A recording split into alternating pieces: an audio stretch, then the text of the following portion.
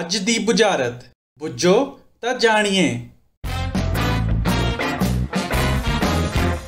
ਕੁੱਟੀ ਜਾਂਦੀ, ਪੀਸੀ ਜਾਂਦੀ, ਭੋਜਨ ਨੂੰ ਮੈਂ ਤਿੱਖਾ ਬਣਾਉਂਦੀ।